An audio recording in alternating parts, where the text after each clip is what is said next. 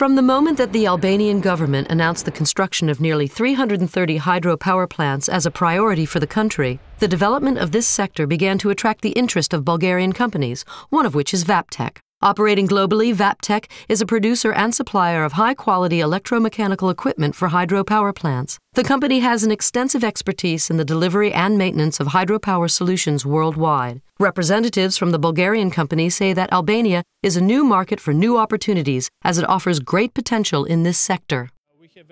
We came to Albania almost one year ago. We have undertaken four projects so far. Our idea is to increase the general level of competence in the Albanian hydropower sector. Our purpose is to set up long-term relations with our Albanian clients by always providing them with exceptional quality products and services. That's why we value the Albanian market as challenging but offering great potential.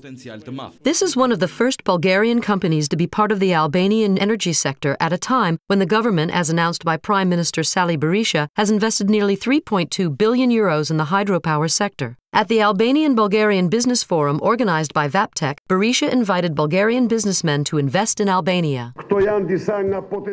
This is some of the potential that Albania presents to Bulgarian investors. But I guarantee to Bulgarian investors and suppliers that Albania has even more to offer. Your decision to invest in this friendly country will undoubtedly lead to positive results, and the success will go down in history. We are experienced in the construction of hydropower plants, and we are ready to work together. The governments of both countries should be the guarantors. They should allay the fear of companies that want to invest. I think this is the right path.